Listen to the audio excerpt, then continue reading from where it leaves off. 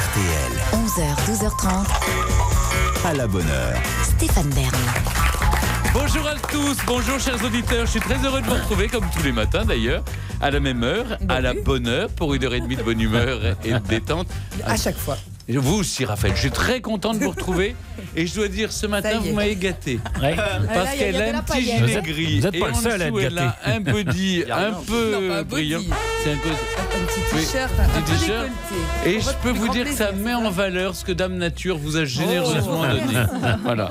C'est Et- bien exprimé, Et les parents qui font Ah, c'est remercier. Moi, je remercie, je vais leur écrire pour les remercier. Surtout- Alors, avec nous autour de la table ce matin, nous avons- elle, elle est habillée en roqueuse. Ouais. C'est euh, J'ai la Cha- haine ce matin. Qu'est-ce qui vous arrive Ah, j'ai la haine. Je suis trop en bad. C'est Charlotte Desgeorges. Elle parle le jeune, j'ai du mal à comprendre. Euh, avec nous également Daniel Moreau. Sens Bonjour. moins Oui. Daniel Moreau, elle ne, v- elle ne demande à venir le matin que quand il y a des invités qui ont 60 ans, mais 60 ans de carrière. C'est plus sûr. Voilà. Avec nous également euh, bah, Patrice Carmouze. Bonjour. Je pensais, je pensais qu'en l'honneur de notre invité, euh, Daniel aurait mis le même décolleté que Raphaël. je peux lui prêter, mais non, bon, mais- hein, Mais que. voilà. Mais il non. me connaît tellement que. Oui, elle- alors, elle on vous connaît déjà par tous les, tous les côtés. Euh, Régis Maillot est là aussi, bonjour. Et nous retrouverons Eric Dussard et sa chronique télé dans la deuxième partie de la bonne heure. Et puis Raphaël, que je vous ai déjà présenté, mais je ne me lasse pas de sa voix. Je vous présente notre invité. Oui.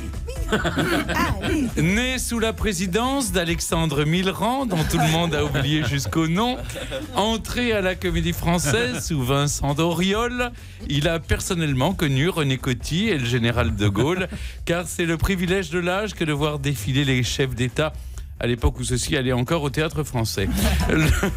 Le, grand public ne peut pas avoir oublié Robert d'Artois et son collant ajusté dans Les Rois Maudits, ni ses nombreux succès au théâtre qu'il aime jouer quelques 600 fois minimum. À l'heure où les retraités sont mis sur la sellette, alors qu'on peut dire qu'il se bonifie pourtant avec le temps, comme le bon vin, il n'a rien perdu de sa fraîcheur et de son allant pour jouer la comédie alors que les jeunes, à peine sortis du conservatoire, sont déjà fatigués avant d'avoir rien joué.